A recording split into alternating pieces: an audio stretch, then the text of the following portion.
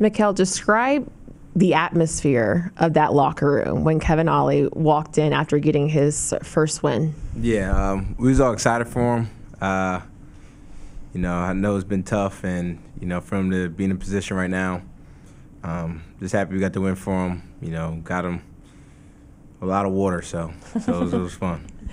What stood out to you just about the way you guys played tonight, especially when you look at how you played from the start to finish? Just what was the difference It just about the energy? Yeah, just defending. Um, even last game, like we was defending well too, but just wasn't making shots and you know made more shots today. But let's just start on the defensive end and then getting out. You know, I think we just connected on the defensive end, um, and I think that's gonna be that's gonna what we're gonna need to you know win games.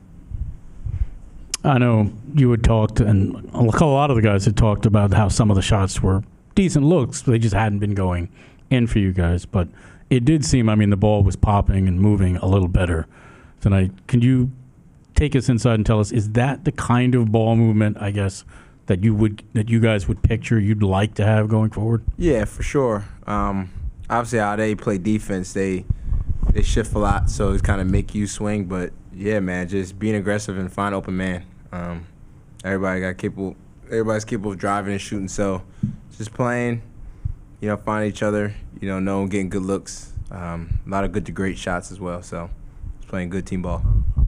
For Dennis, obviously he's still trying to find his way with you guys. How happy were you all to see him kind of get in that rhythm as well, just get comfortable, not just shooting but making those shots as well? Yeah, it was good. I know. I know. Great for him. Um, but you know, it's tough getting traded, coming new team. You know, making shots and stuff. But you know, have him find his rhythm and just playing off him and while he has the ball. And um, I was happy for him to get that rhythm. And then Cam as well. I don't think we've, I don't think I've said anything to you about just him coming off the bench. For one, how glad were you to kind of see him get in the rhythm today? Just obviously adjusting to a new role coming off the bench. Yeah, um, yeah, I know it's tough for him, um, but just how he handles it, you know, like a true pro, and um, you know, just playing harder and you know, being aggressive. Um, obviously, it's not fun getting moved to bench, but just how he handled it and continued to keep playing hard and go out there and try to win.